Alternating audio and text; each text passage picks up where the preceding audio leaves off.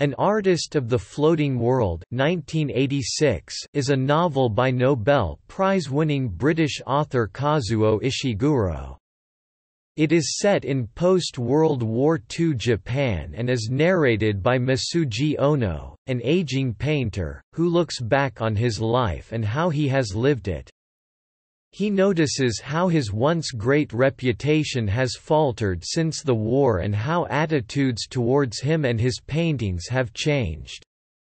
The chief conflict deals with Ono's need to accept responsibility for his past actions and in the expostulation to find a path to peace in his goodwill for the young white-collar workers on the streets at lunch break. The novel also deals with the role of people in a rapidly changing environment. The novel falls under both historical fiction and global literature Weltliteratur. It is known as historical fiction due to its basis on remembering the past and it draws from historical facts.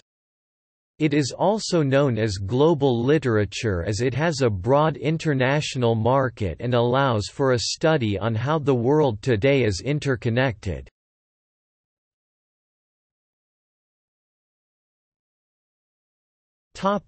Publication history Originally published in 1986, it has since won major awards. Published by Faber and Faber it is also printed by publishing companies such as Allen and Unwin and Penguin Vintage International. It has become an e-book version additionally and is available on most e-book websites such as Kindle and iBooks, since 2012. Currently, An Artist of the Floating World, has been translated into over 40 languages around the world.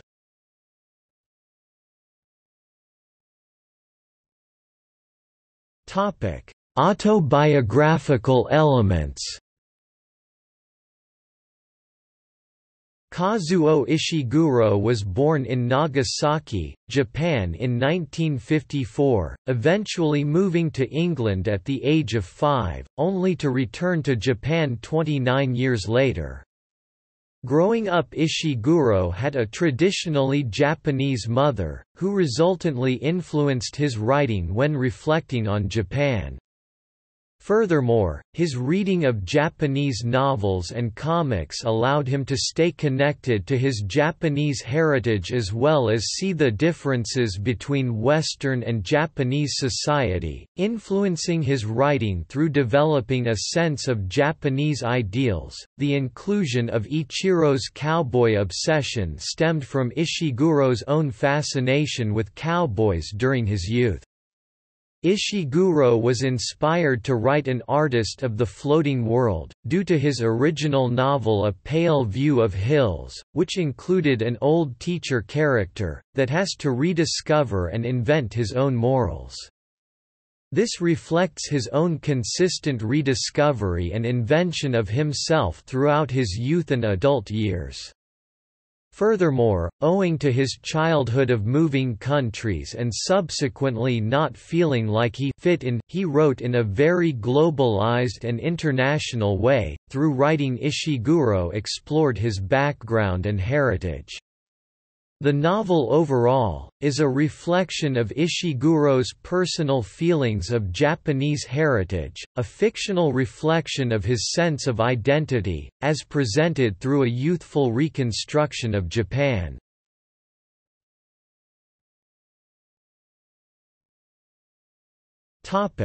Title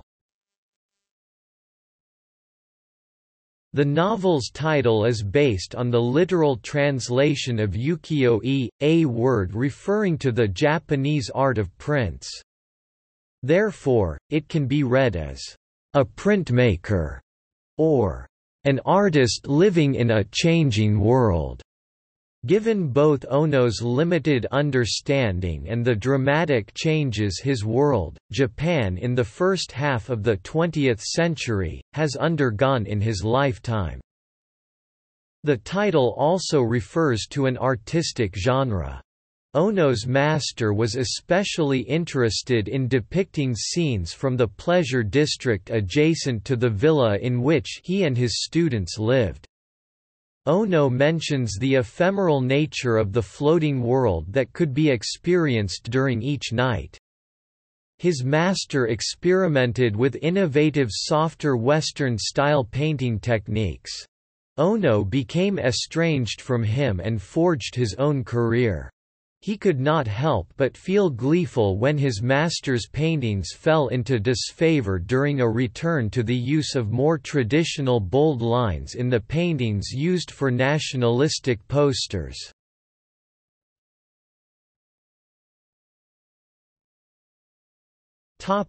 Structure An artist of the floating world, is structured through the interwoven memories of protagonist Masuji Ono. The novel is set in three distinctly different years however, Ono's memories span as far back to when he was a child. The four different years and title sections of the novel are, October 1948 April 1949, November 1949 and June 1950.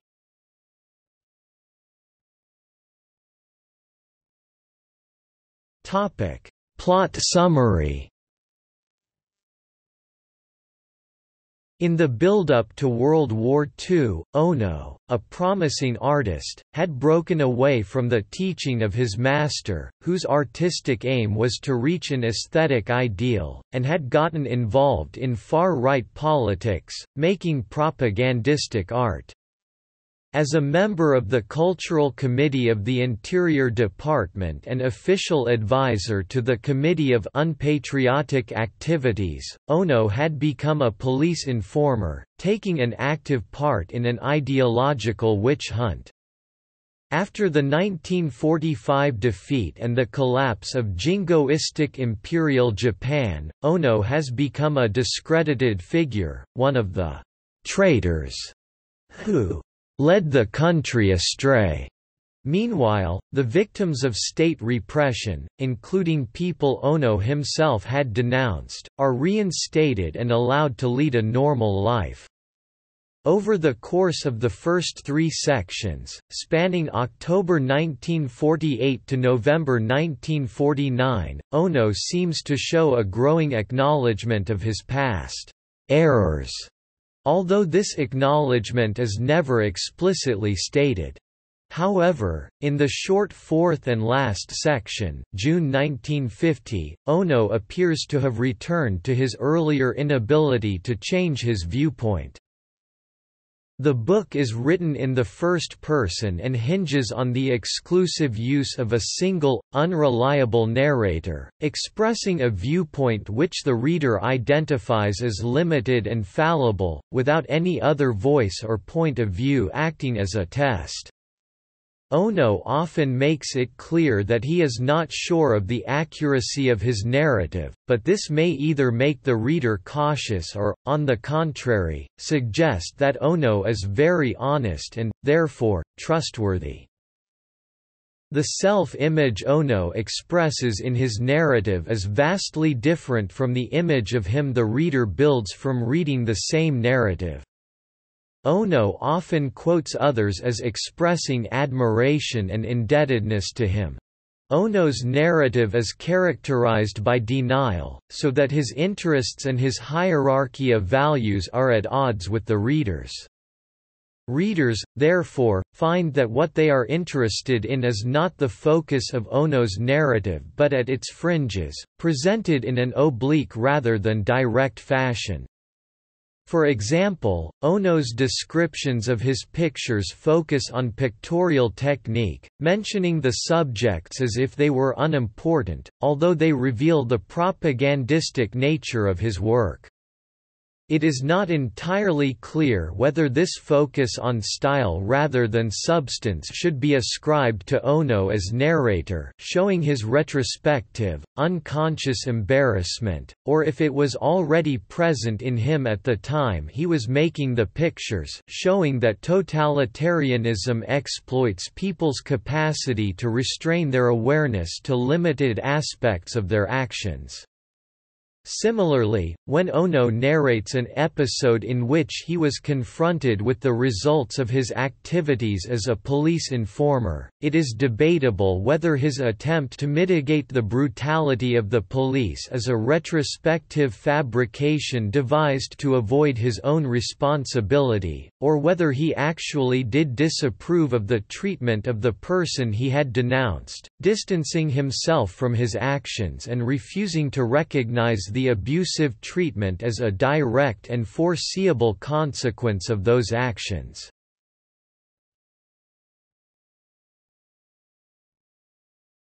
Topic: Characters.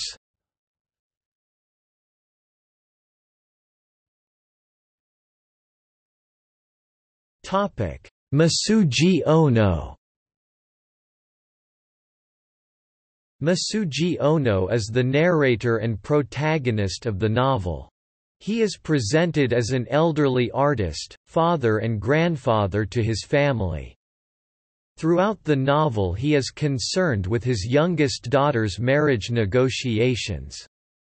As a child his father was reluctant for him to become a painter, however as he grew older he soon became an artist.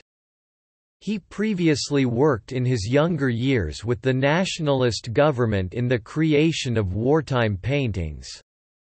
Presently, whilst his art career before his involvement with propaganda paintings is applauded, his other work is scorned.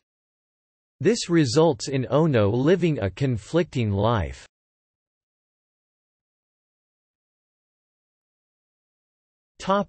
Noriko Noriko is Ono's youngest daughter. She lives with him in his house and is seen as sometimes indignant and bad-mannered. She is somewhat bitter to Ono in the beginning of the novel as she believes he was the core reason as to why her original marriage arrangement was cancelled. However, she soon become enamored with her second marriage arrangement and is happy when she eventually marries him. Noriko views her father, Ono, as someone she must care for forming a small resentment and anger towards him. Nariko is very outspoken and boisterous throughout the novel, contrasting Setsuko.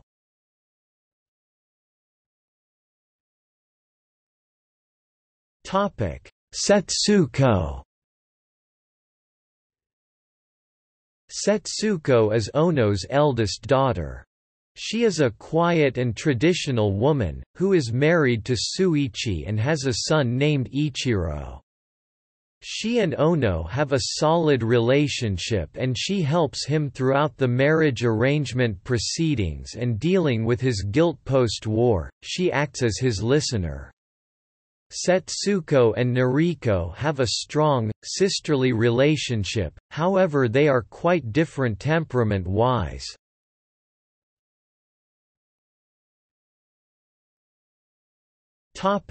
Ichiro Ichiro is Ono's grandson, Setsuko's child and Nariko's nephew. He is a young boy in the novel with an active imagination. To Ono, Ichiro can be confusing and alienating owing to his adoption of Western culture such as some English words and his obsession with cowboys and the movie Godzilla. They have a good relationship, and bond over their masculinity frequently.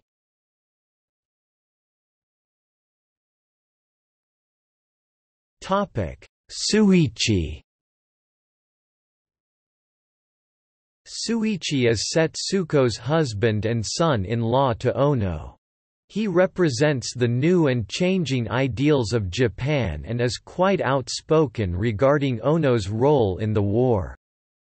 He frequently speaks out about his opinions regarding the war. Before the war he was seen as a well-mannered and happy man, however post-war he has seen to have changed into a relatively angry and bitter man as a result of his experiences as a soldier.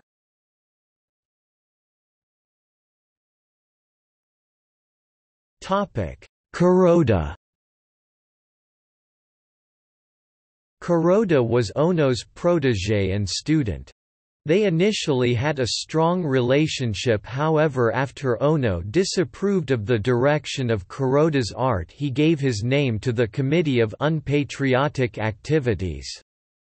This results in his paintings getting destroyed and him being punished. He therefore forms a strong dislike for Ono, and never sees him again.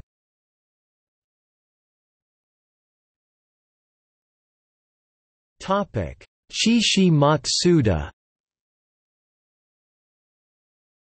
Matsuda is characterized as a nationalist who ultimately influences Ono, to create politicized paintings. He disparages artists who do not deal with social and political issues through their art, suggesting them as naive.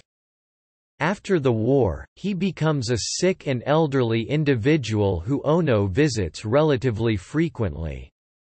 He is quite regretful of remaining unmarried and having no heirs to precede him.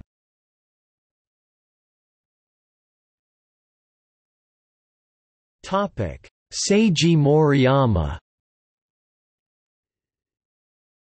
Seiji Moriyama, also known as Mori-san during the novel, was Ono's art teacher during his younger years.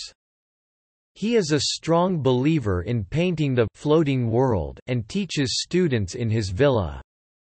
His main artistic technique is the inclusion of Western techniques such using dark lines in favor of shading, he is a stubborn yet nurturing figure, however once students steer away from his techniques, they are soon told to leave.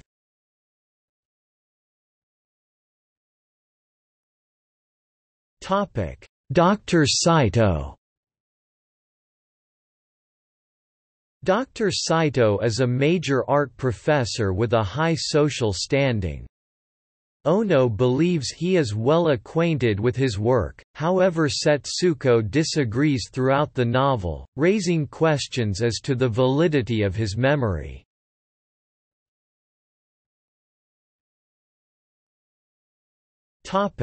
Mrs. Kawakami Mrs. Kawakami is the bar owner of which Ono frequent regularly, in the pleasure district of where he lives. She is a good friend of Ono. She remains hopeful throughout the novel that the pleasure district will have a resurrection, however this is not the case and she thus sells her bar by the end.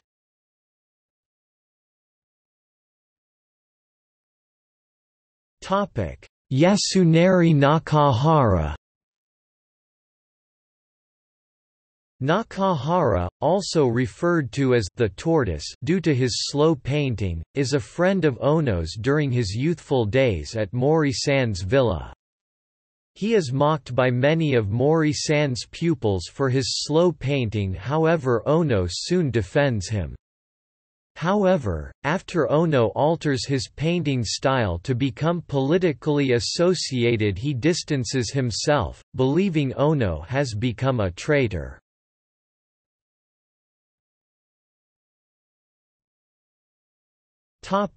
Themes An artist of the floating world discusses several themes through the memories of the narrator, Masuji Ono.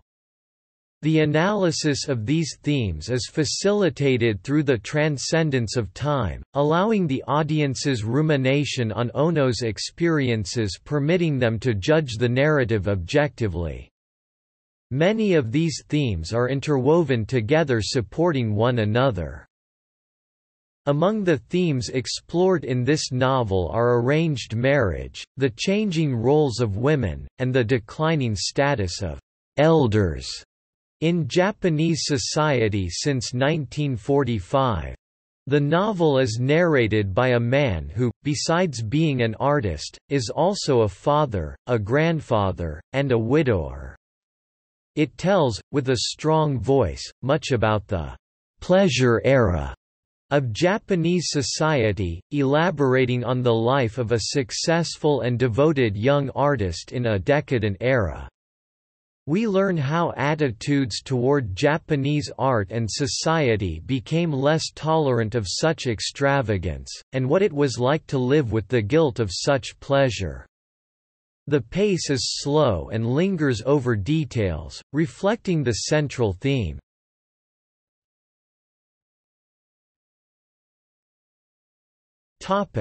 Politicization of art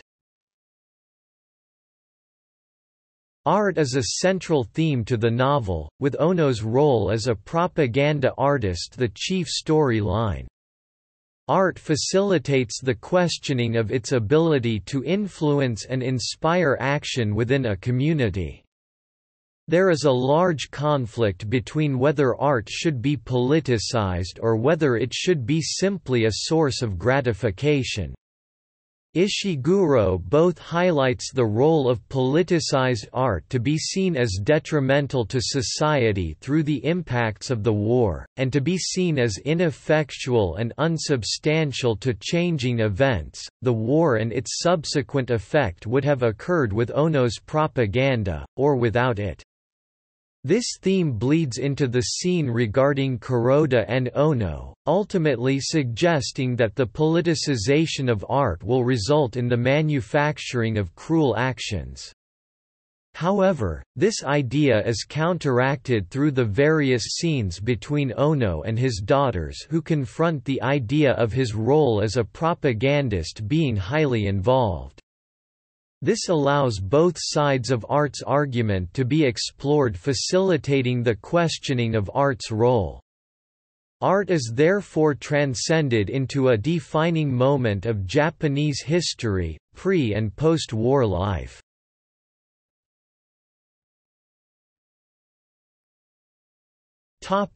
Unreliable narrator The novel is structured as a series of interwoven memories described by Masuji Ono. Ishiguro uses a variety of techniques to convey the fallibility of Ono's recollections to the audience, gradually revealing that Ono is an unreliable narrator and undermining the audience's faith in his story.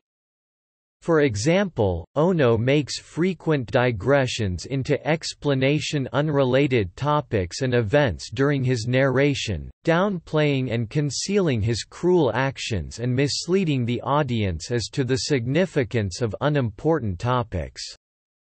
When Ono recounts interactions with family members, events are often referred to indirectly, or with incomplete information, disguising the truth of what has occurred. Because they are given incomplete and confusing information, it becomes more difficult for the audience to determine the extent of Ono's actions and the responsibility he bears for them. Masuji Ono repeatedly reassesses events from his past throughout the novel, which suggests that he is constantly reconsidering his guilt about his actions and ultimately rethinking both the role of propaganda and the construction of memories. This process of reassessment highlights his status as an unreliable narrator, emphasizing his fickle nature. This reflects the concept that memory is processed through an individual's consciousness, making it subjective to that particular person.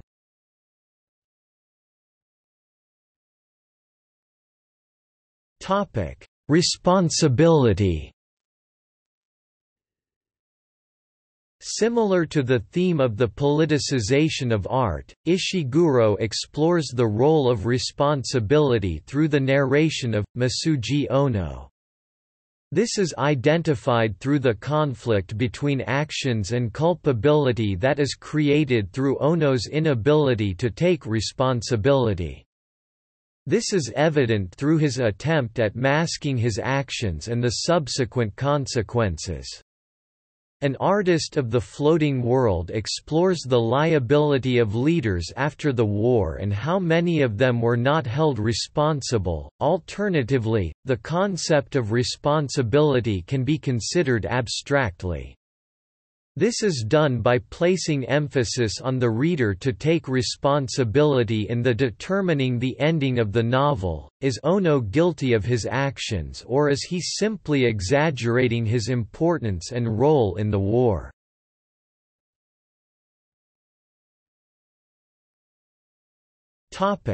Changing values.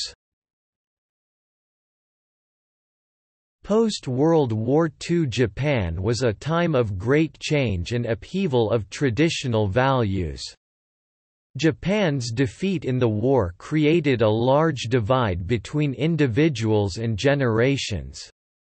In the novel, this clash of values is represented in the relationship between Misuji Ono and his grandson Ichiro.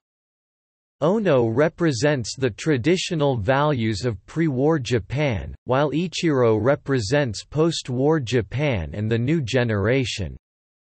Major changes explored include the changing attitudes towards the war, family hierarchy, geography of Japan, and the increasing prevalence of Western culture. This is presented through scenes such as between Ichiro and Ono when watching the Godzilla movie, Ichiro's obsession with cowboys and his lack of interest in Japanese heroes. Ishiguro does not present these changes as either good or bad, instead simply portrays them as reality, allowing the audience to determine their effects on society. Women are portrayed throughout this novel through both the perspective of Ono and the perspective of the changing Japanese society.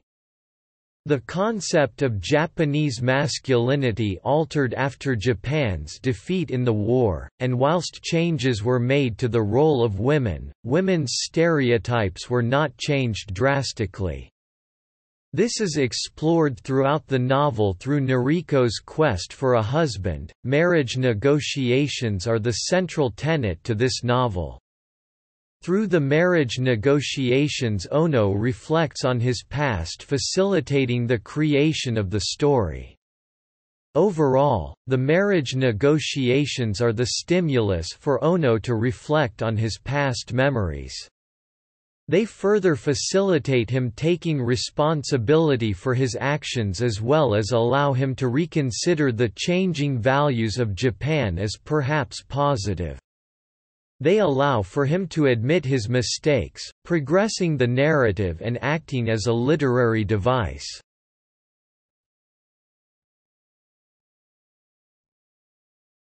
Topic: Literary significance Iain Maloney listed An Artist of the Floating World as an essential novel for Japanophiles. Robert McCrum ranked it the 94th greatest novel ever written. The novel was shortlisted for the 1986 Booker Prize and won the Whitbread Book of the Year award for the same year. It was a nominee for ALA Best Books for Young Adults.